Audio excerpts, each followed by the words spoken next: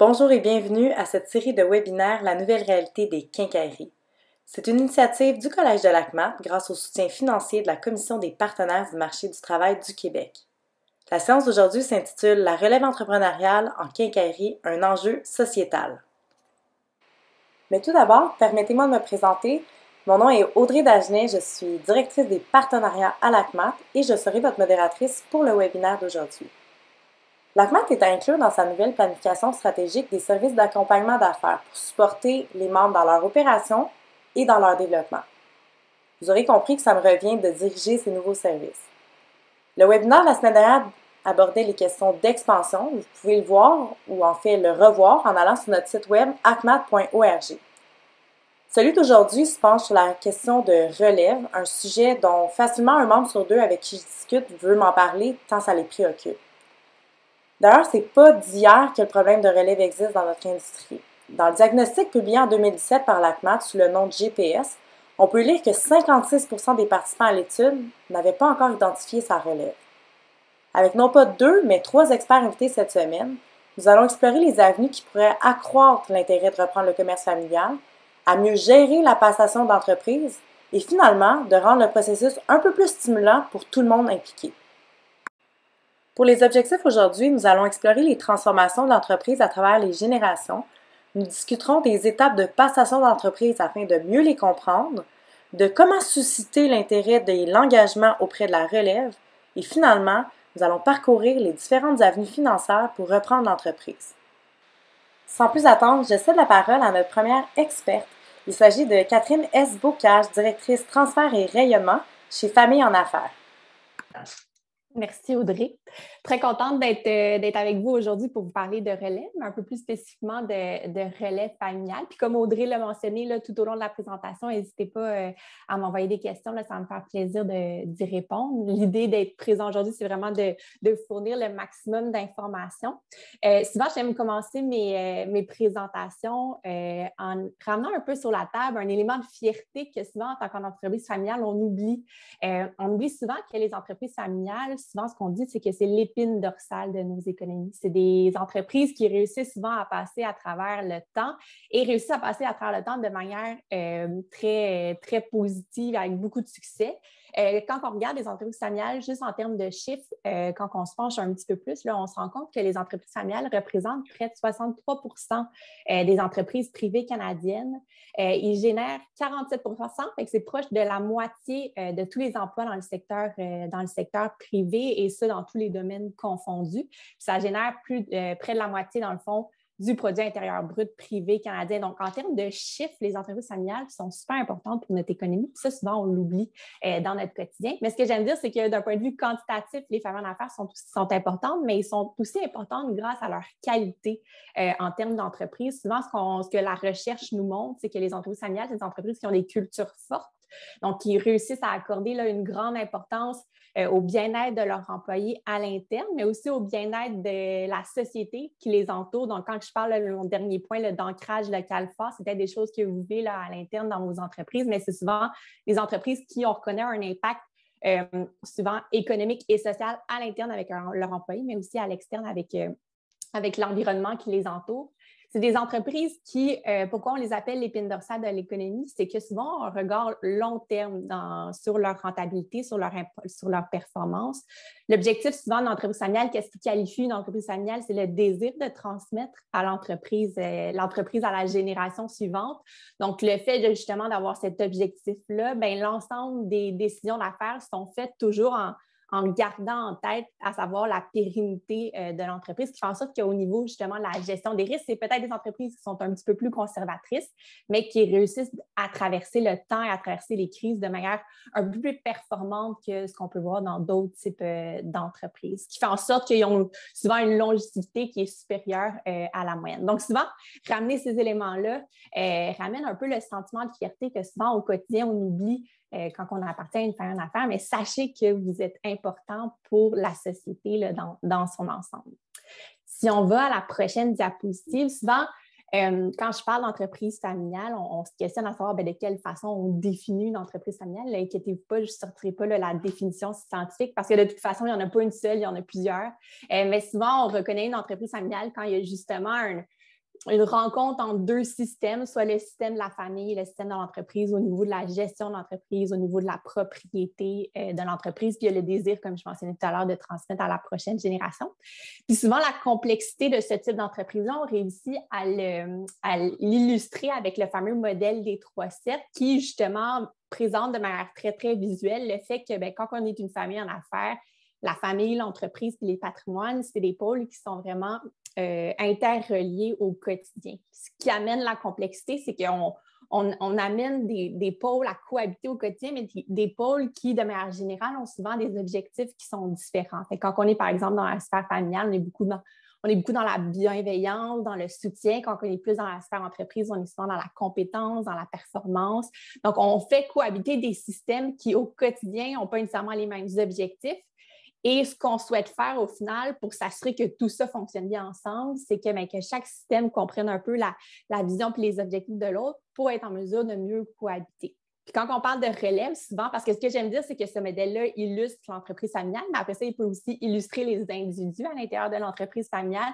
Et comme par exemple, si vous regardez votre propre situation, peut-être qu'il y a des membres de la famille qui travaillent dans l'entreprise. En ce moment-là, on les positionne entre la sphère de la famille, de l'entreprise. On a peut-être des membres de la famille qui ne travaillent pas dans l'entreprise. À ce moment-là, ils sont juste dans la sphère familiale. On a peut-être des, actionnaires familiaux, mais qui ne travaillent pas dans l'entreprise, qui seraient entre la jonction de la famille et le patrimoine.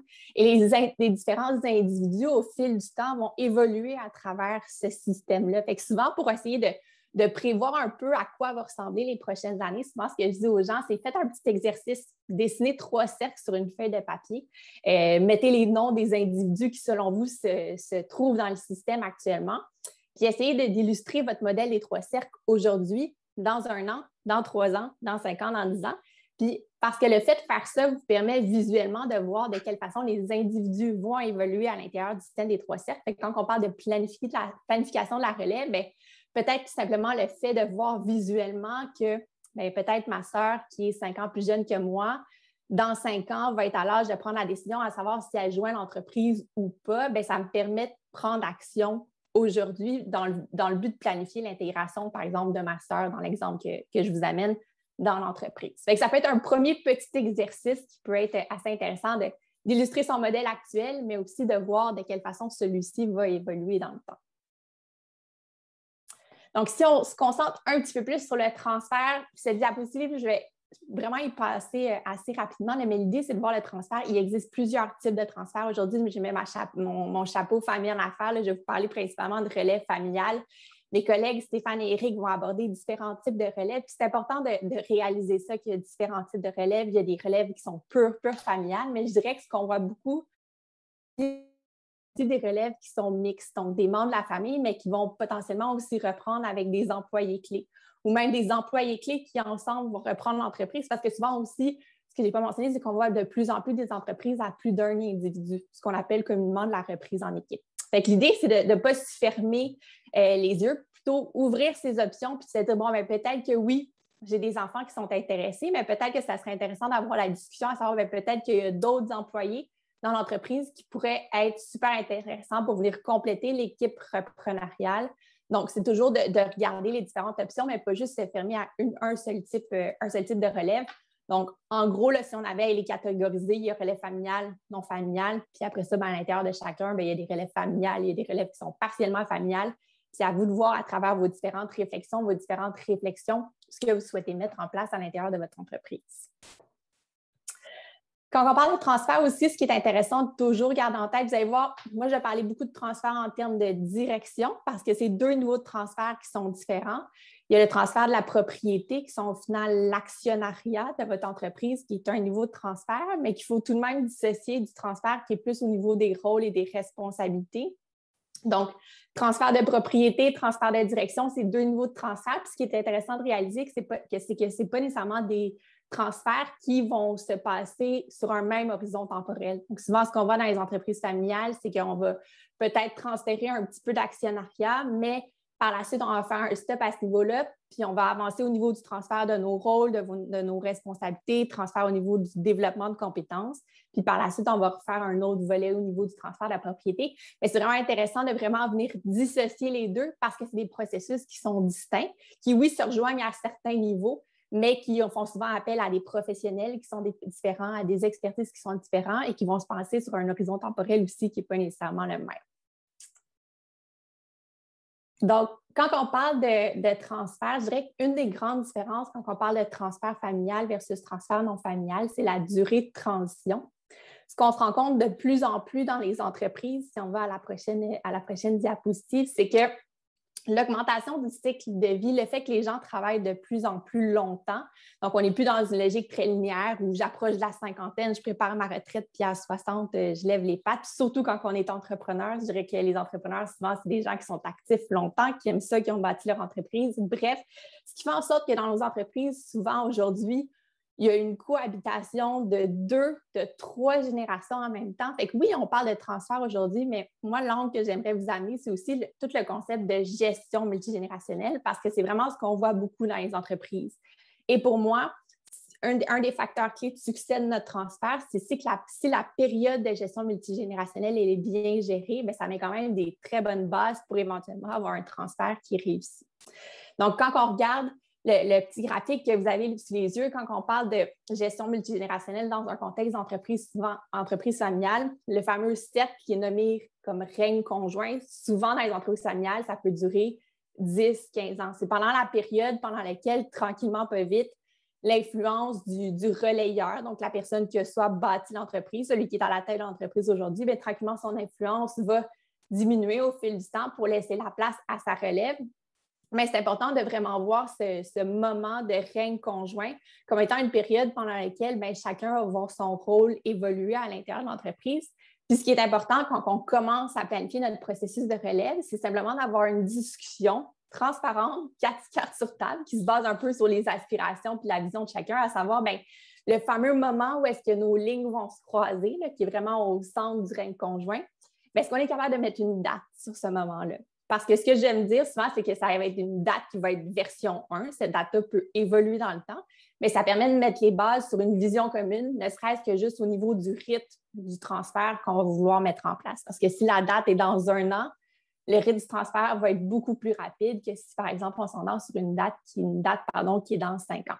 C'est vraiment important de voir le transfert comme étant un processus qui s'étale sur plusieurs années pendant lesquelles chacun des rôles va évoluer, mais cette période-là de gestion multigénérationnelle peut être présente dans l'entreprise pour plusieurs années.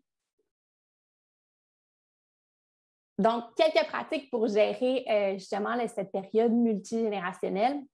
Premièrement, euh, avoir une vision commune. Puis la vision commune, je la sépare en, deux volets. Le premier volet, c'est vraiment avoir une vision commune pour l'entreprise, sachant que pendant plusieurs années, vous allez travailler ensemble. Oui, vous allez vous séparer les rôles et responsabilités, mais ça se peut que les décisions au niveau stratégique, vous les, décidiez ensemble. C'est important qu'en tant qu'équipe, autant relayeur que repreneur, vous ayez une vision commune pour, euh, pour l'entreprise pour que ce soit un peu votre ligne directrice pour les prochaines années. Puis par la suite aussi, c'est important d'avoir une vision commune au niveau de la gestion multigénérationnelle. De quelle façon on voit cette période-là? Donc, si je vous ramène tout à l'heure quand je parlais de l'importance de la date, c'est une première discussion qu'on peut avoir.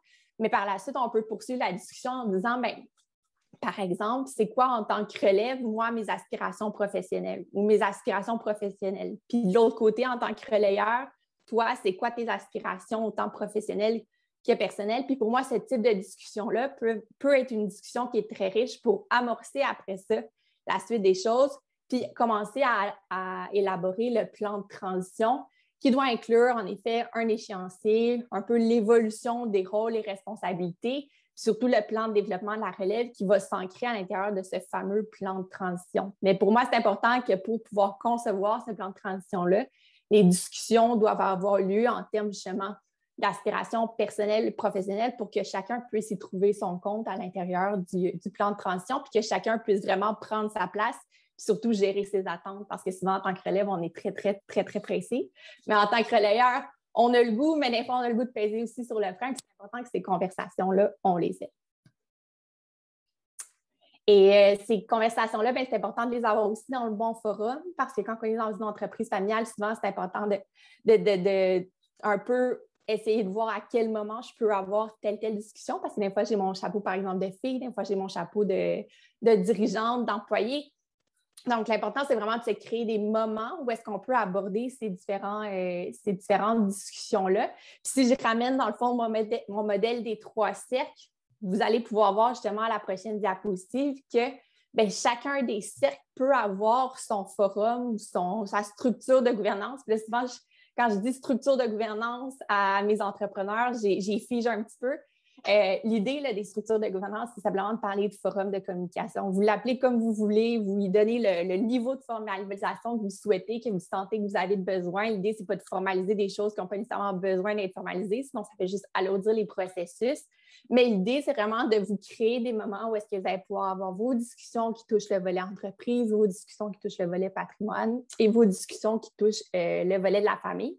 Si je fais un focus un peu là, sur tout le volet de la gouvernance familiale, qu'on appelle ici le conseil de famille, que je présente un peu plus en détail à la prochaine diapositive. Vraiment, ces moments-là que vous créez pour pouvoir échanger en tant que famille, pour moi, c'est des éléments qui vont vous aider à, oui, vous créer une cohésion en tant que famille, mais qui aussi, par ricochet, va vous amener à vous créer une cohésion d'affaires qui va être super, euh, super intéressante. Donc, plus on se crée des moments où est-ce qu'on échange formellement et informellement en tant que famille, mais ça nous permet de créer des, des liens entre nous, d'amener un certain sentiment d'appartenance à la famille, d'apprendre à travailler ensemble aussi dans un contexte qui est un peu plus d'affaires. Souvent, en tant que famille, on a l'habitude de se côtoyer, mais pas nécessairement de se côtoyer dans un contexte d'affaires. Donc, apprendre à prendre des décisions ensemble, ça peut être quelque chose qui peut être créé à l'intérieur de ce forum-là. Donc, l'idée, c'est vraiment de se créer des moments en tant que famille pour avoir des discussions qui sont un peu plus formalisées et qui nous permettent de mettre les bases justement à la planification de la relève qui après ça va avoir un impact positif sur la sphère, euh, entreprise. Donc, donc, en conclusion, en fait, moi, ce que je voulais vous passer là, comme message, c'est que, oui, on parle de transition, oui, on parle de relève, mais quand on parle d'entreprise familiale, souvent, cette transition-là s'échelonne sur plusieurs années. Donc, ce qu'on a à gérer, c'est, oui, le transfert, mais surtout la gestion multigénérationnelle. Donc, l'idée, c'est qu'il n'y a pas nécessairement une recette, même si tout le monde la recherche. mais que mon objectif aujourd'hui, c'est de partager quelques, quelques, bonnes pratiques. Puis mes collègues aussi vont vous en partager plusieurs dans les prochaines minutes. Mais si j'avais à vous en, remettre quelques-unes en tête pour vous laisser avec peut-être des petits points de forme sur votre cahier de notes, l'idée, souvent, ce que je dis, c'est que l'important, c'est d'avoir les conversations parce qu'en tant qu'en processus de transfert, souvent les, sources de conflit émanent des conversations manquantes. Donc, c'est de se créer les moments où est-ce qu'on peut les avoir, ces conversations-là. Des fois, c'est un peu, euh, on est un peu inconfortable souvent à aborder euh, certains sujets en, famille, des sujets qui sont peut-être un petit peu plus délicats. Donc, ça peut être intéressant d'aller chercher de l'aide, d'aller chercher de l'accompagnement. Je sais que Stéphane va en parler un petit peu, plus tard. Donc, euh, sachez vous entourer parce que c'est un processus qui n'est euh, pas, simple, qui est complexe mais qui, quand est bien faite, réussit à créer justement les entreprises qu'on connaît et qu'on reconnaît au fil des générations. Donc voilà. Ben, merci beaucoup, euh, Madame Bocage. Euh, donc, en fait, on a une question pour vous. Euh, il s'agit de savoir quel genre d'erreurs au niveau de, la relève, des, exemples concrets de mauvaise gestion de relève que vous pourriez nous, discuter avec nous, nous partager? Bien, des erreurs, il y, en a plusieurs. Comme je disais tout à l'heure, il n'y a, pas nécessairement de recette. Je dirais que l'erreur première, puis ça a été mon, mon point principal, c'est certain que quand on se lance dans un processus de relève, moi, j'aime dire qu'on ne sait pas ce qu'on ne sait pas. Euh, puis souvent, c'est une rencontre de deux expériences. Si moi, je suis un entrepreneur qui a fondé mon entreprise, qui transfère à ma première génération, je n'ai jamais vécu ça, un processus de transfert, puis ma relève non plus. Euh, fait que je dirais, les... souvent, on va, on va travailler longtemps sur certains éléments, on va peut-être couper les coins ronds sur d'autres éléments s'entourer d'experts qui peuvent vous accompagner à travers ce processus-là peut éviter beaucoup d'erreurs. Mais je dirais que souvent, euh, le manque de communication va être, euh, comme je disais tout à l'heure, la source de conflit numéro un. Euh, c'est pas nécessairement facile. Souvent, je dis en tant que relève, on n'est pas toujours le bon messager, puis en tant que relayeur non plus. C'est peut-être des fois d'aller justement chercher autour de nous qui est le bon messager pour pouvoir créer des environnements où on peut échanger. Euh, fait que je dirais, des fois, la, l'inexpérience ou le, manque de, connaissances pour savoir où commencer. Puis après ça, ben, des fois, la, crainte d'aborder certains sujets sont les causes, je dirais, les plus euh, qui me viennent les, plus en tête. Ouais. Parfait. Merci beaucoup. On va passer à notre prochain expert. Il s'agit euh, de Éric Dufour. Euh, Monsieur Éric Dufour, vice-président régional et leader national en transfert d'entreprise chez Raymond Chabot Grant Thurton, qui sont d'ailleurs euh, partenaires de l'ACMAT pour justement les services qui seront offerts dès 2022. Je vous cède donc la parole. Merci beaucoup, Audrey. Donc, merci, Catherine, pour cette belle présentation. Donc, c'est un plaisir d'être avec vous cet après-midi. Euh, de notre côté, nous, chez nous, euh, euh, je suis dirigeant d'une équipe qui intervient spécifiquement dans les entreprises pour les supporter à bâtir leur plan de relève. avec des équipes, notre approche, nous, c'est de bâtir des équipes multidisciplinaires avec un intégrateur dans le centre qui, qui a une, des, des capacités d'aller dans les éléments chauds et froids, autant humains que cartésiens. Et on bâtit un plan de relève, je vous en parlerai tout à l'heure, et on intervient euh, avec du support par différents ministères et par la suite, on accompagne les entreprises dans leur euh, plan d'intégration euh, progressif. On a des interventions, plusieurs c'est ainsi dans votre secteur d'activité, un secteur où la cohabitation générationnelle est, présentement un défi, somme toute, important. Donc, écoutez, moi, l'objectif que j'aurais dans mon 15 minutes, ce serait de vous... mon, mon objectif, c'est vraiment de vous inciter à passer à l'action. Euh, Catherine a fait une belle mise en bouche, une, belle mise en contexte de vos entreprises familiales. Effectivement, c'est 70% des transferts actuellement qui sont hybrides. Donc, euh, et puis, on peut comprendre aussi euh, l'ADN du Québec, du Québéking. vous avez eu les bébés boomers 1,86 enfants précisément, et ça prend deux à trois personnes pour vous remplacer. Donc, il y a toujours l'occasion d'intégrer quelqu'un d'externe dans les plans de relève. La mise en, contexte, je continuerai un peu à cet effet. Ce qu'on constate sur le terrain depuis la pandémie, euh, je vous dirais qu'il y a une certaine polarisation qui fait en sorte qu'il y a beaucoup plus d'entrepreneurs présentement qui désirent passer à l'action. Euh, pourquoi? Parce que la plupart des travailleurs et la plupart des entrepreneurs ont eu un rendez-vous avec eux-mêmes pendant cette période.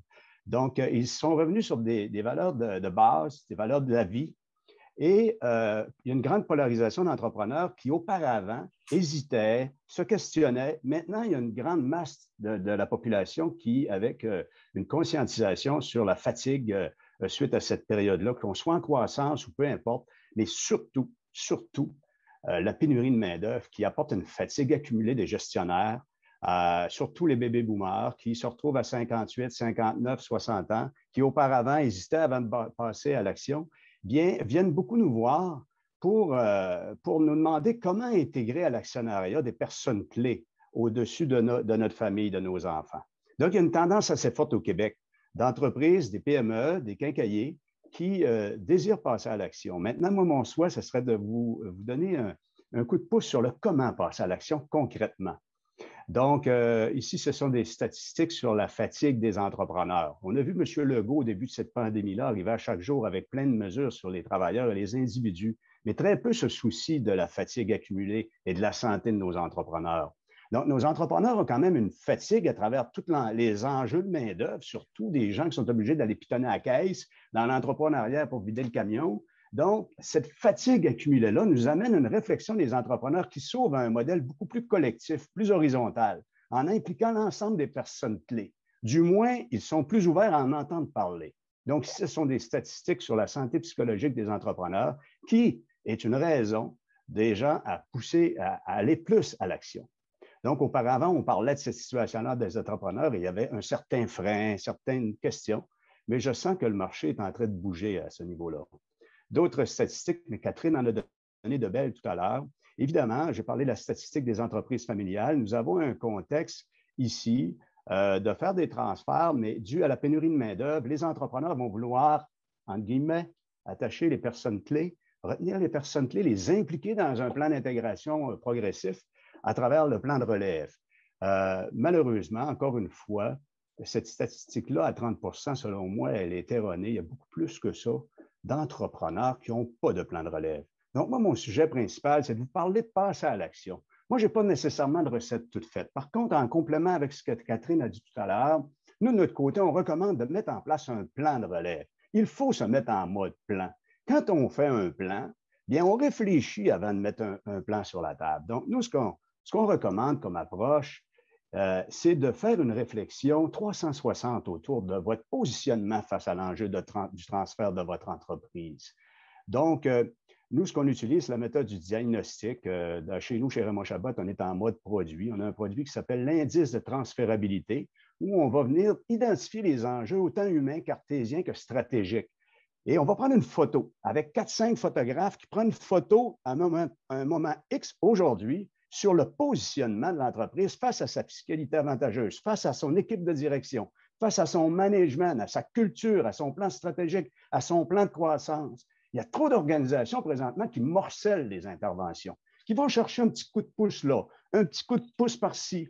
Mais là, présentement, les amis, on n'a pas le temps. On est en retard au Québec. Les entrepreneurs sont rendus autour de ce qu'ils n'ont pas transféré. J'en ai un que je travaille présentement, 76 ans, plus difficile. Euh, il y en a qui ont 60, 62, 63. On dit toujours théoriquement que c'est souhaitable d'avoir un 3 à 5 ans devant nous. Et pour connaître l'intention et le deuil, l'insécurité des bébés boomers, il est souhaitable de mettre sur pied un plan progressif où on va intégrer progressivement l'actionnariat nos gens en faisant de bonnes photos et surtout aussi en s'assurant de mettre un plan de transfert de direction en progressivement, bien transmettre les compétences et avoir un plan de transfert de propriété qui est en cohérence. Donc, qu'est-ce qu'on fait dans un plan de relais? Bien, nous, de la façon qu'on travaille, on y va par entrevue avec le cédant tout d'abord. On travaille avec le cédant potentiel ou les cédants potentiels à identifier euh, finalement leurs intentions, à, faire le tour avec eux sur concrètement, est-ce qu'ils veulent diminuer? Est-ce qu'ils veulent se départir de certaines responsabilités? Est-ce qu'ils veulent continuer encore deux, trois, quatre, cinq ans? Est-ce qu'ils ont une inquiétude sur une adéquation avec leur plan de retraite? Est-ce que la valeur accumulée de leur patrimoine est en, adéquation avec la valeur marchande de l'entreprise? Donc, on fait le tour avec l'entrepreneur sur son indice de bonheur. Vous avez droit à du bonheur aussi. Et l'influence que nous avons chez les jeunes qui ont eu des rendez-vous avec eux-mêmes sur une qualité de vie, les entrepreneurs veulent l'avoir. Souvent, le conjoint, conjointe est bord de la retraite aussi. Donc, on fait le tour profondément sur l'aspect humain envers le cédant, mais aussi ses objectifs financiers. On va également faire le diagnostic des forces et faiblesses de l'entreprise. Pourquoi? Peut-être revenir encore à la page, Audrey, puisque je m'attarde un peu plus sur le plan de relève. Euh, pourquoi on va faire le tour des forces et faiblesses de l'entreprise? C'est pour, répondre à la question de l'entrepreneur, est-ce que mon fils et ma fille ont tout ce qu'il faut pour diriger la barque? Donc, c'est important de faire le tour de mes forces. Euh, mon management, est-ce qu'il est adapté? Est-ce que mes équipes sont complètes? Est-ce que mon modèle d'affaires est adéquat? Est-ce que mon modèle de revenu est, satisfaisant? Est-ce que euh, finalement, dans mon organisation, j'ai euh, une, moyenne d'âge qui est en équilibre. Donc, sortir l'ensemble des forces et faiblesses de l'organisation qui va nous permettre de mettre en place dans le plan de relève certains défis, hein, certains objectifs de calibrage, parce que l'organisation doit rouler à travers un plan progressif. Mais ça va surtout nous permettre de profiler le besoin en qualité des personnes pour constituer l'actionnariat et surtout la direction. On va également travailler avec les repreneurs. On va faire des entrevues avec les enfants, avec les autres personnes clés, spécifiquement avec eux, pour euh, connaître leurs intentions, aller chercher leur vision de l'entreprise, aller chercher leur, leur vision de l'entrepreneuriat, aller tester avec eux avec des tests psychométriques adaptés, euh, leur, zone, leur, zone au niveau entrepreneurial, leur profil entrepreneurial, aller tester leur taux d'anxiété. Hein, gérer une business, souvent, ça sollicite l'anxiété, leur prise de capacité décisionnelle, on va également identifier des pistes de développement avec eux. On va pouvoir se commettre. Parce qu'il y a des entrepreneurs qui nous demandent souvent est-ce que mon fils ou ma fille ont tout ce qu'il faut? Donc, euh, les tests psychométriques, euh, les rencontres avec les repreneurs, fort intéressants. Dans plusieurs des situations, et on le vit dans une quincaillerie présentement, c'est que l'entrepreneur nous demande d'aller tester peut-être, parce qu'on questionne, est-ce qu'il y a d'autres personnes qu'on aurait un intérêt à, aller, euh, aller solliciter pour l'actionnariat? Et euh, souvent, ce qu'on va faire, c'est qu'on va aller rencontrer d'autres personnes, mais toujours avec un souci de ne pas créer d'attente. Y aller indirectement dans un, objectif d'amélioration continue de l'entreprise, mais surtout d'aller sonder s'il y a d'autres personnes intéressées.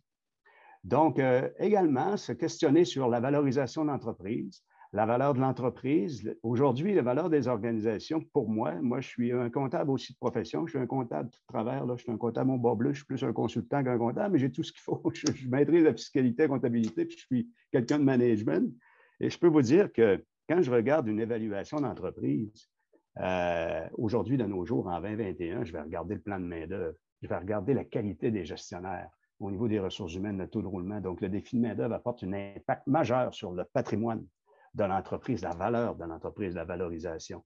Donc, nous sommes dans une étape où les modèles d'affaires des organisations évoluent. Soyez prudents et pour votre entreprise, je vous recommande de débuter rapidement et de mettre sur pied un plan de transfert progressif parce que votre valeur, elle est impactée actuellement. La valeur marchande est toujours basée sur les résultats des trois à cinq dernières années. Mais présentement, on vit une crise de main-d'œuvre qui fait en sorte que les, les, gens des marchés financiers, des gens comme, euh, comme Stéphane ici, lorsqu'il analyse des dossiers, il va en parler tout à l'heure, ben, doit considérer ces facteurs de risque-là qui sont assez nouveaux. Donc, une approche ici, que je, à, cette, à cette étape que je parle, d'une approche qui est basée sur le chaud et le froid. Il faut combiner le chaud et le froid. On n'a pas le choix, on manque de temps.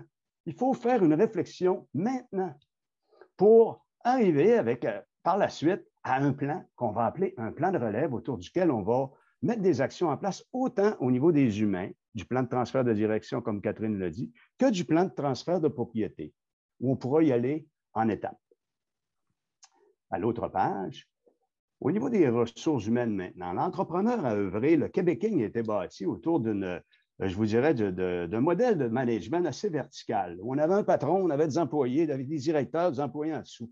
Maintenant, on a le défi d'avoir des modèles très horizontaux. On a, le on a le défi de mobiliser nos ressources clés. Donc, Stéphanie puis Jacob, les deux enfants, vont nous surprendre.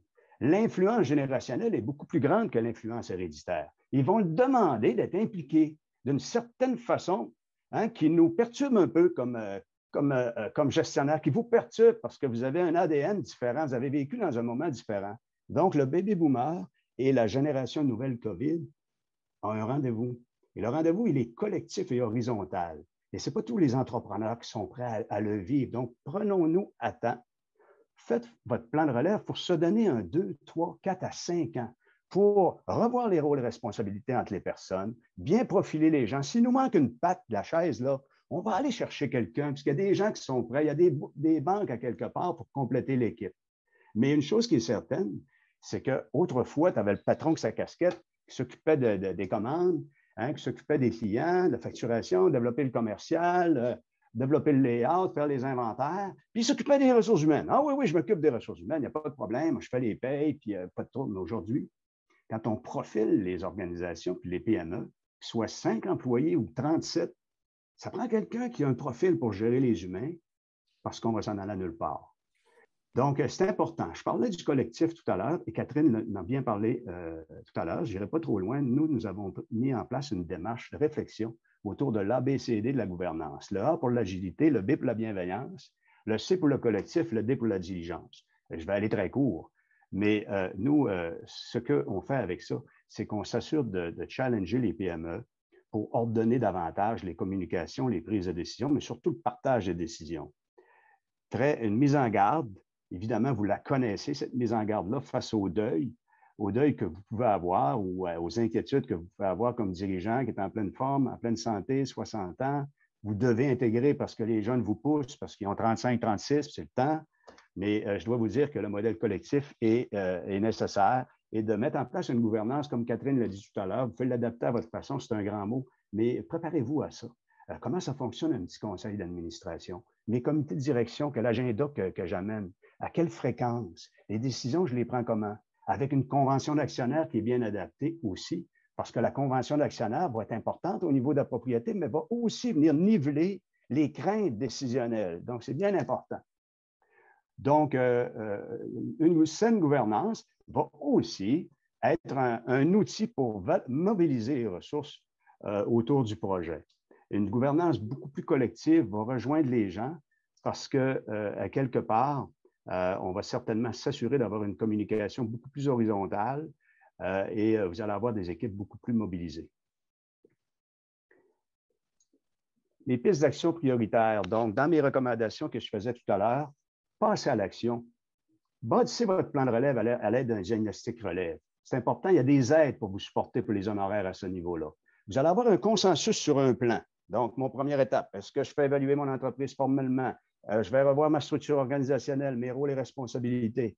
Euh, je, vais, je vais faire les tests psychométriques pour être sûr de doter mes personnes, d'être sûr d'avoir les bonnes personnes. Donc, un plan de relève lié aussi avec les défis de l'entreprise.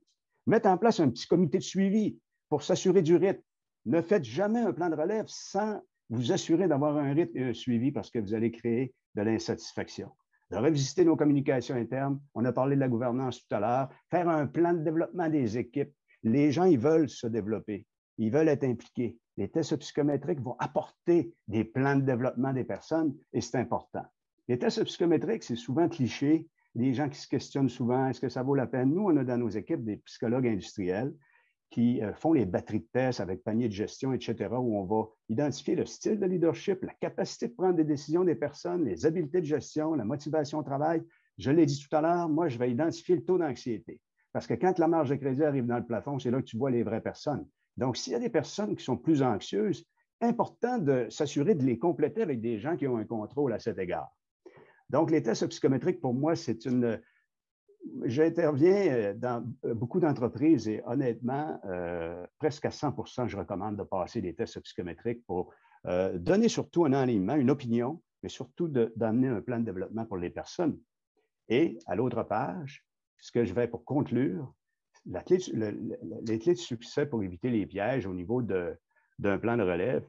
Madame posait la question tout à l'heure, les erreurs qui se passent, c'est tout d'abord, les gens, il faut faire un plan, il faut faire une saine réflexion auparavant sur l'ensemble des axes, parce que les entrepreneurs, souvent, vont rester avec un souci intérieur et vont être biaisés, puis ils risquent de freiner euh, l'avancement d'un plan de match. Si ce n'est que l'inquiétude sur la valeur marchande.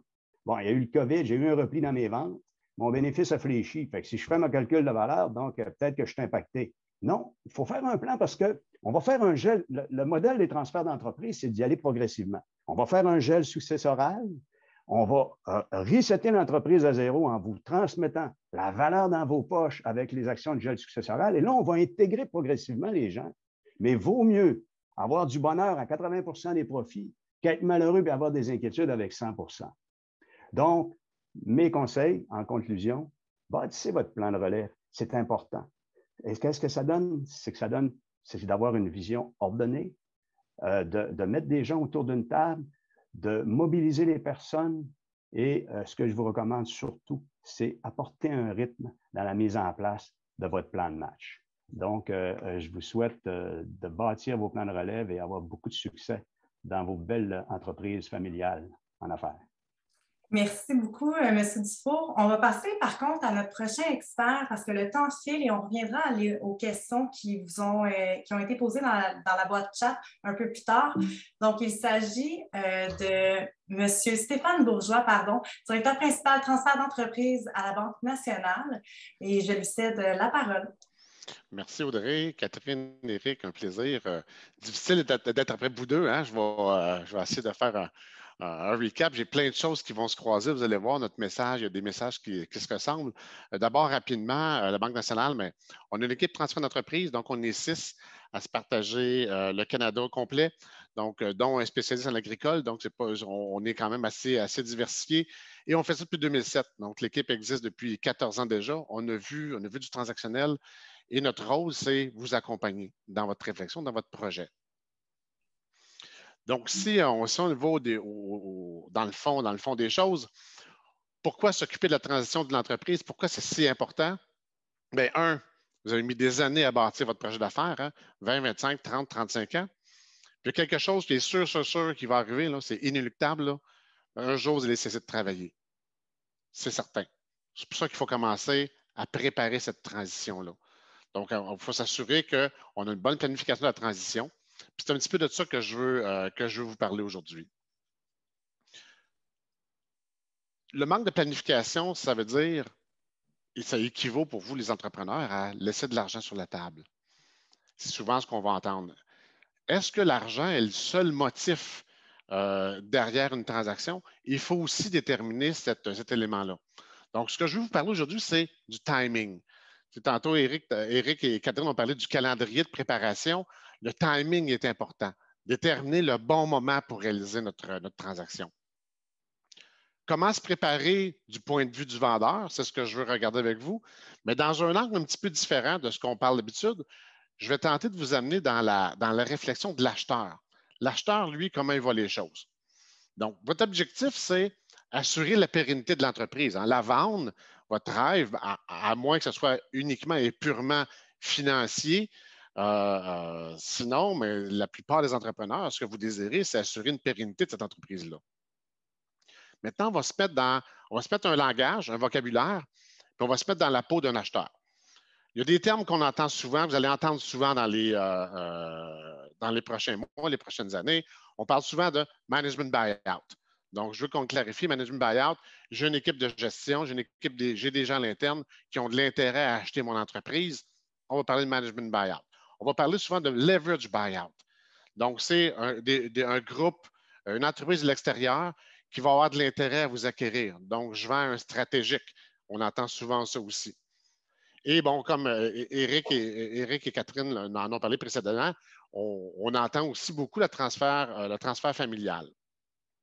Première question que je vous lancerai dans votre réflexion à avoir, c'est aujourd'hui, j'ai une évaluation de mon entreprise, j'ai trois types d'acheteurs potentiels, parce que la question qui, est le plus souvent posée, bien, deux questions qui sont souvent posées, c'est un, combien vaut mon entreprise? Euh, après ça, mais c'est tu capable, capable de la financer?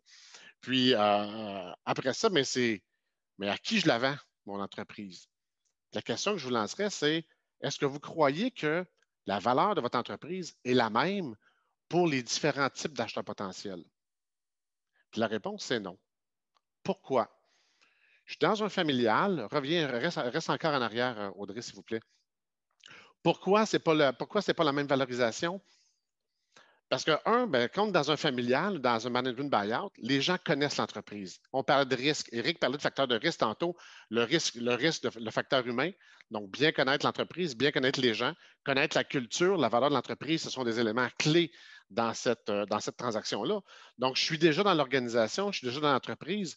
Mon risque d'affaires est moins important parce que je connais les rouages. Mon, due diligence est plus facile à réaliser, plus facile à faire parce que je connais tous les, les éléments de l'entreprise aujourd'hui. Demain matin, je décide que je me mets avec Eric et Catherine, puis je vais voir votre entreprise, on, va vous faire une offre pour acheter votre entreprise à trois. Est-ce que mon prix d'achat serait le même que si vous vendez à, vos employés ou à votre famille? Bien, probablement que non. Parce que moi, j'arrive de l'extérieur, puis il y a des facteurs de mon due diligence, il y a des facteurs de risque que je ne maîtrise pas, que je ne connais pas. Je ne connais pas 100% de votre organisation, de votre structure. Puis ça, mais ça peut avoir un, prix sur la valorisation finale. je peux avoir également des gens qui arrivent de l'extérieur, qui vont venir vous faire une offre pour acheter votre entreprise, qui vont être prêts à payer beaucoup plus cher que, la famille ou beaucoup plus cher que, euh, que vos employés, parce que c'est des joueurs stratégiques. C'est des joueurs qui ont un intérêt ils vont probablement avoir des effets de levier à acheter votre entreprise, des perspectives de croissance, des perspectives de revente future dans leur projet, dans leur projet d'affaires. Et eux auraient probablement de l'intérêt à faire euh, l'acquisition de l'entreprise à un prix plus élevé. Donc, ayez conscience qu'il n'y a pas seulement qu'un seul prix pour votre entreprise. Il y a différents prix fonction du, euh, du risque encouru par chacun, puis des avantages futurs qui vont en encourir aussi. Puis pour du côté du banquier qui est votre partenaire, mais la façon de financer le tout est différente également, est différente du type d'acheteur. Quand on parle d'acheteurs de, internes, mais je suis beaucoup plus, beaucoup plus ouvert à financer parce que je sais que mon, mon risque lié à l'humain, relié à la connaissance de l'entreprise, mais il est limité parce que l'entreprise est bien connue déjà des gens. Donc, ayez ça en tête.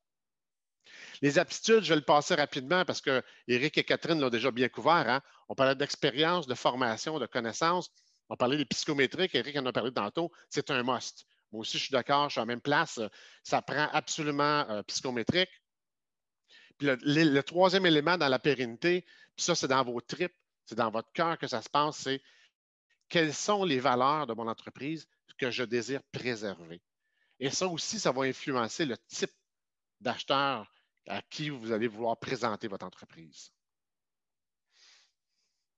Maintenant, la valorisation. On parle du timing.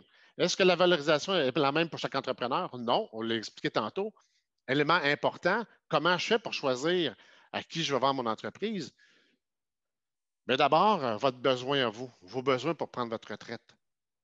Sais, si, votre besoin est à 2 millions pour être capable de prendre votre retraite, j'ai une entreprise qui en vaut un aujourd'hui, mais j'ai un plan de match à travailler. J'ai quelque chose à, mettre en place, c'est certain. Maintenant, comment, comment, je comment je maximise cette valorisation-là? Le timing. des règles de base. Vous voyez, je vous ai mis un petit, un petit tableau. Si on, si on décide à l'année 6 de vendre, de vendre l'entreprise qui a commencé à avoir, à atteindre sa décroissance, nécessairement, je suis un achat d'un matin, mais le prix que je vais vous offrir, il va tenir compte du facteur de croissance. Et surtout avant la pandémie, trop souvent, nos entrepreneurs décidaient de vendre au moment où on commençait à atteindre le facteur de décroissance. Notre courbe avait commencé à baisser et nécessairement, ça a un impact. Donc, c'est quand le meilleur timing pour décider à vendre? Mais ce n'est pas 5. Parce que l'année 5, c'est le pic, je suis à mon maximum. Je viens de réaliser ce maximum-là. Le temps que je prépare, que je mette en place tous mes, éléments, ça va peut-être me prendre 6, 9, 12, 18, 24 mois. Je vais être rendu à l'année 6 ou à l'année 7, peut-être en décroissance il va être trop tard pour décider de vendre mon entreprise. Donc, c'est quand le meilleur timing pour commencer à y réfléchir et à le préparer? Mais c'est avant l'année 5. Mon objectif, c'est prendre mon entreprise, la faire croître régulièrement, puis l'amener au moment où je vais être prêt à vendre au maximum de valorisation. Et là, tous mes éléments préparatifs vont être en place. Je vais préparé ma relève si c'est le temps de vendre euh, euh, aux enfants ou à mon management où je vais avoir le temps, j'aurai eu le temps de préparer tout mon plan, tout mon plan stratégique pour intéresser un joueur externe à venir m'acquérir. Je vais être au maximum de valeur au moment où je vais être prêt à vendre. Ce que ça veut dire, c'est ben, préparer votre image de marque. On n'en parle, on parle pas, assez souvent, je trouve, euh, dans, dans, la vente, mais si votre objectif, c'est de vendre un joueur externe ou de maximiser votre valorisation, ben, mettez de la valeur sur votre branding. Votre branding est important travaillez-le. Mon image de marque RH en termes d'employeur, mon image de marque marketing en termes de, d'entreprise capable de générer, euh, euh, générer d'engranger des ventes et nécessairement des profits. Puis également mon image de marque en tant que, en tant que partenaire économique de ma société. Est-ce que je suis un bon partenaire social? Donc, travailler sur votre branding, ça donne de la valorisation, c'est important. Troisième élément, vendre au juste prix trop souvent, je vois des entreprises qui surévaluent la, valorisation. Ce que ça veut dire, c'est que peut-être vous, vous allez, perdre des opportunités de vente. Vous allez perdre des bons acheteurs. Je crois que mon entreprise vaut 3 millions, vaut 4 millions. En réalité, au marché, elle en vaut peut-être 1,5, 2. Si on tient trop à son prix, sans avoir de gens qui nous, qui nous entourent, qui viennent valider cette valorisation-là, mais ça peut nous amener à des pertes d'opportunités. Je vois également des scénarios où on sous-évalue l'entreprise. Donc, je pense que ça vaut ça, mais probablement qu'au marché, elle vaut euh, quelques millions de plus. Donc, on va perdre de l'équité personnelle. Le Dream Team. Eric en a parlé, Catherine en a parlé. On ne fait pas ça seul, une transaction. J'ai fait un exercice un moment donné avec, euh, un, collègue dans le milieu, juste pour le fun. On a commencé à écrire le nombre d'intervenants qui, pouvaient, qui pouvaient participer à une transaction. On était rendu à 33. Est-ce qu'on a besoin des 33 dans toutes les transactions? Non, pas nécessairement. Ça dépend du type de transaction. Pourquoi on va chercher des gens, un Dream Team? Pourquoi on se bâtit une équipe de choc qui va travailler avec nous? Parce qu'il n'y a personne qui possède toute la connaissance à la base. Aucun professionnel peut connaître tous les éléments de tous les aspects d'une transaction. C'est impossible. Donc, vous voyez, je vous ai énuméré une liste, euh, une brève liste des différents intervenants, mais commencez rapidement à travailler avec eux. Incluez, rapidement aussi dans ça le banquier. Trop souvent, le banquier, on l'amène trop tard. On va venir l'amener après, qu'on ait proposé une lettre d'offre à notre, euh, à notre vendeur. Et quand on revient voir le banquier pour bâtir le financement, mais le banquier vous dit Ouais, mais là, il euh, faut que tu renégocies tel élément, tel élément, tel élément, tel élément. Je vous le dis, on, est, mercredi, depuis ce matin, à 8 heures, je suis sur une transaction, puis c'est exactement ça que je fais depuis 8 heures ce matin. Je renégocie des clauses du LOI parce que le LOI n'a pas pensé au banquier. Puis là, je suis obligé de dire, mais va falloir que tu retournes voir ton, vendeur, euh, renégocier ta clause euh, de, fonds de roulement, renégocier euh, telle clause, renégocier telle clause, parce que ça n'a pas été prévu avant. Donc, l'introduction du banquier le plus rapidement possible dans le projet, c'est très important. Et ça, c'est notre rôle. L'équipe transfert d'entreprise à la Banque nationale, c'est exactement ça qu'on fait. Donc, nous inclure rapidement. À ça, Je ne l'ai pas mis dans ma, dans, ma, dans ma présentation, mais il y a quelque chose là, qui est très, très, très important, qui est fondamental. Ça vous prend un chef d'orchestre. Est-ce que c'est vous le chef d'orchestre? Malheureusement, trop souvent, vous n'êtes pas le bon chef d'orchestre. Ça prend quelqu'un qui, qui va être à l'extérieur, qui va être capable de coordonner vos différents professionnels, les différentes personnes de, euh, de votre Dream Team pour s'assurer que votre projet avance constamment, que tout ça se passe aussi sans émotion. On n'a pas beaucoup parlé, là, mais c'est une transaction, c'est vos tripes. Vous avez travaillé 30, 35 ans euh, dans votre entreprise, vous allez arriver au moment de la vente, ce n'est pas le cartésien qui va primer. À moins, vraiment, là, je l'ai dit tantôt, à moins que les dollars, là, ce soit la seule et unique raison de votre transaction, là, mais ce n'est pas le cartésien qui prime. Au moment de la vente, ce qui prime, c'est les émotions. Parce que vous allez céder votre entreprise.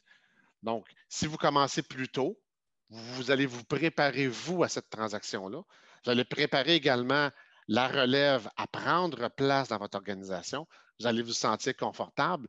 Puis ce moment, ce timing-là transactionnel, ce que Catherine exprimait dans son, dans son grand cercle tantôt, là, les, deux, les deux grandes courbes qui, se croisent, là, mais les émotions vont être réduites si vous vous préparez à l'avance. Si vous attendez deux, trois, quatre mois, puis vous, allez vivre tout d'un coup sur 150, euh, 160 euh, jours cette transaction-là, et vous allez vivre des, des, pics émotifs incroyables. Ça va être difficile pour vous. Ça va se passer dans les tripes. Donc, je reviens sur mes trois éléments. Hein. Donc, choisir son acheteur potentiel. Il n'y a pas qu'un seul prix. Le timing, choisir le moment pour vendre son entreprise. Arriver au bon moment pour maximiser sa valorisation et avoir une bonne équipe qui nous accompagne. Un Dream Team avec un chef d'orchestre. Parfait, merci. Ça clôt le tout. Merci beaucoup pour votre intervention. J'ai une question euh, qui euh, est dirigée vers vous.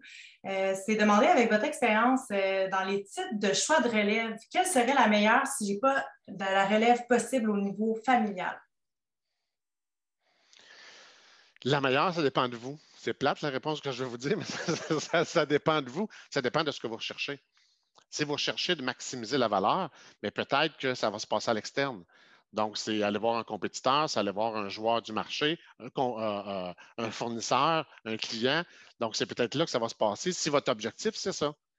Mais pour des entrepreneurs, leur objectif, c'est la pérennité de l'entreprise. Ce qu'ils veulent, c'est que leur modèle d'affaires tel qu'il est aujourd'hui, s'ils ont en tête que l'acheteur potentiel va probablement changer l'entreprise, couper des postes, délocaliser les emplois pour les amener ailleurs dans sa région. Mais pour des entrepreneurs, la clé, c'est assurer la pérennité de l'entreprise telle qu'elle est aujourd'hui. Mais notre choix va probablement s'orienter vers l'interne, vers nos employés ou vers des gens du milieu qui ont de l'intérêt à faire des acquisitions. J'ajouterais peut-être un point. Le choix est vraiment très personnel. Si vous me le permettez, euh, quand euh, je mentionnais qu'il est important de faire le tour, le portrait de l'entreprise, le diagnostic de l'entreprise avec ses défis et ses forces, bien, euh, je vais recommander d'identifier votre profil d'acheteur en lien avec votre projet d'entreprise, les, forces à calibrer, mais en lien aussi avec ses défis futurs. Donc, le profilage, faire la bonne photo, parce que quand vous allez arriver devant Stéphane, il va regarder votre, votre management, puis il va regarder votre plan de match, votre plan, les compétences que vous avez en place, si cette personne-là est complémentaire. Donc, encore une fois, je ramène au plan, là, au diagnostic, s'assurer d'avoir une adéquation entre le profil de vos personnes. Et puis, ça arrive souvent que les enfants, il faut, l'avouer, ça arrive que les, des enfants n'ont pas ce qu'il faut pour prendre les rênes.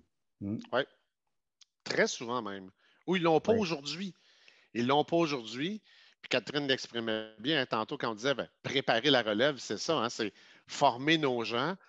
Puis il est possible que la relève, qu'elle soit familiale ou à l'interne, mais qu'il n'y ait pas de, président ou de DG ou de PDG de trouver aujourd'hui à travers les psychométriques.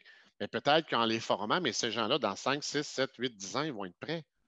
Il y a peut-être mm. une période de transition à vivre pour l'entreprise. C'est possible, ça aussi. Hein. Bien, écoute, euh, ouais. Euh, ben, Allez-y, après ça, je vais poser une dernière question parce que le temps file. C'est un bon point, Stéphane, parce que tantôt, tu parlais de vente d'entreprise, mais la plupart du temps, et, c'est certainement ton point de vue aussi, de, faire un transfert progressif avec un gel, ben faire des, tranches. Puis de, c'est l'idéal. Ça, pour un banquier, c'est l'idéal. Sortir le patrimoine à mesure. Oui. Ouais, J'ai une dernière question, peut-être on en fera deux, tout dépendant. Euh, comment je fais ou d'où je pars pour aller chercher de la relève, mais à l'extérieur, donc de la famille ou même d'un employé clé? C'est où je vais? Ça, le, écoute, c'est la question à 100 Malheureusement, on a manqué le coup au Québec. Ben, il y a eu le CETEC qui est en place. Le CETEC a créé des banques. Il y, a, une bonne banque. Euh, je vous dirais que, que le, CETEC est présent. Les groupes comme les banques, Stéphane a son réseau. Nous, on a, un réseau. Nous autres aussi, on a nos banques, mais on n'est pas fédérés. Je pense qu'au Québec, on a un objectif d'être fédéré, mais encore une fois, ce qu'on répond quand on a ces questions-là, c'est d'avoir un bon réseau et d'aller à travers le réseau. Euh, et euh, écoutez, euh, je souhaite qu'au Québec, on fédère mieux ça, mais il y a le CETEC mm. présentement qui crée une banque provinciale. D'accord avec Eric. Le, CETEC est un, bon premier, outil. Utilisez votre réseau d'affaires. Puis je vous dirais que le, réseau d'affaires québécois est un, est un petit réseau. Donc, tout le monde travaille avec tout le monde et rapidement, que ce soit les, que ce soit les, firmes comptables, les firmes d'avocats, les, les banquiers, on se parle régulièrement entre nous parce que de toute façon, on est dans un Dream Team, toute la gang ensemble, dans une transaction. Donc, on se parle pour de multiples transactions et on a l'occasion de croiser des gens. Et quand on sait que quelqu'un cherche euh, euh, un, repreneur, une relève potentielle, une personne même, mais là, à travers notre réseau, euh, on, va on va aller scruter tout le monde ensemble. Et les écoles entrepreneuriales. Les écoles excusez, Audrey, il y a les écoles entrepreneuriales aussi qui, qui ont des, certaines banques là, mm-hmm. intéressantes. J'ai une dernière question, je vais la diriger vers, euh, en fait, c'est au niveau familial, donc vers Catherine. Euh, dans la relais familiale, est-ce que vous avez commencé à travailler avec les nouvelles normes pour prendre avantage de l'extension en capital pour le vendeur, ce qui n'était pas une option dans nos types de commerce avant? Exemple d'une vente de père à fils, de père en fils ou de père en fille. Euh, je crois qu'il y a un projet de loi qui a été déposé dernièrement. C208. C208. C208. Ça fait longtemps qu'on je vais laisser Catherine répondre, mais ça fait longtemps qu'on clame ça. J'espère que le, Parti libéral va, va, va se déscléroser et va le, le, mettre en marche. Mais c'est ça, en fait, moi, j'allais passer la balle. C'est familial, mais on a un fiscaliste autour de l'écran. Ah, ben, c'est un ben, comptable, ben, en fait. écoute, ça, fait, en tout cas, Catherine, tu sais, ça fait longtemps qu'on en parle, Stéphane. C'était beaucoup, beaucoup le frein au Québec de beaucoup d'entrepreneurs avant de passer à l'action. Là, on a une bonne nouvelle. Le provincial était. D'abord, le provincial le permet déjà, mais les conditions provinciales sont trop sont désaxés par rapport au marché. Ils exigent que le transfert soit, soit effectué à plus de 50 puis nos entrepreneurs ne sont pas tous prêts. Et là, le fédéral, le, provincial, ben, le monde, il ne l'utilisait pas parce que le fédéral ne suivait pas. Là, ce qu'on entend dire, c'est que les ministres ne s'entendent pas tous. Euh, le cabinet de M. Trudeau n'est pas encore tout aligné. Donc, on espère que les grands mouvements puissent faire des pressions, mais euh, écoutez, ça s'en vient. Je crois qu'en 2022, donc, c'est l'exonération de gain capital de 900 000 que vous pouvez faire maintenant avec vos enfants. Mais euh, il y a des façons de le stationner pendant, pendant le transfert progressif. Il y a une façon de le parquer en attendant pour pouvoir euh, profiter de, quand ça va arriver.